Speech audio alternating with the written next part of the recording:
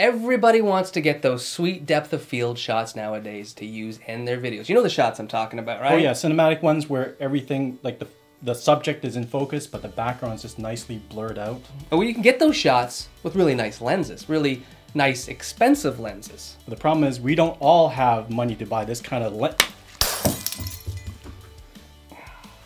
Well, today we're going to show you a hack that will let you get these shots with just about any camera that you have. Don't say anything.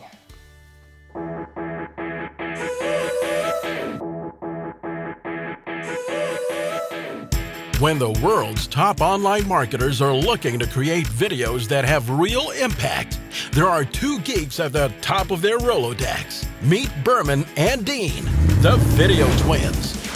After working for some of the globe's most iconic broadcasters, Berman and Dean have taken the internet by storm and become creative leaders in the world of online sales and marketing videos. And now they're on a mission. A mission to help you make better videos. Scratch that. Make that killer videos.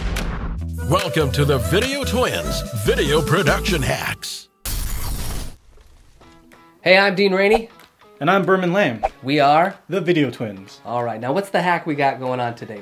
Well, the hack we have is a solution to provide greater depth of field while using a commercial everyday camcorder. Right, because everyone wants the depth of field shots, but a lot of times the lenses on these cameras are not so good, so it's a real challenge to get a dynamic shot, right? Now, the importance of these shallow depth of field shots is that the subject is crystal clear, but the background is out of focus, so it really allows you to dictate where the viewer's eyes are going and drawing attention to something like that, right? That's right.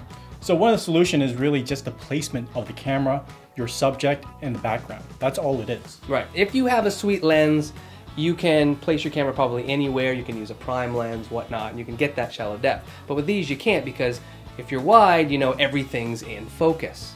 So the trick that you want to do is you want to frame the shot that you like. If it's, a, if it's an interview subject, you want to be sort of a medium shot, I guess, your head and shoulders. But then move the camera back as far as you can and then zoom in with your camera lens to get the same frame. To get the same frame, yep. right? Yep. And that should crush sort of the depth of field there, and the background should blur out a little bit, and you'll get sort of a, you know, it's a bit of a, a, closer shot to that. Definitely, and also make sure that your background's a little further away from your subject as well. Right. We see a lot of people like with a background like one or two feet behind them, like a bookshelf or a wall or something. There's no depth there, so you can't create depth of field really. You've got to have some distance between you and the background. But you can do it with this little hack. You can do it with a consumer camera and it'll help you make your shots pop a little bit more without, you know, risking losing a very expensive, expensive lens that, you know, Dude, some people. Um, anyways, there's more hacks coming that's up. That's a uh, cut!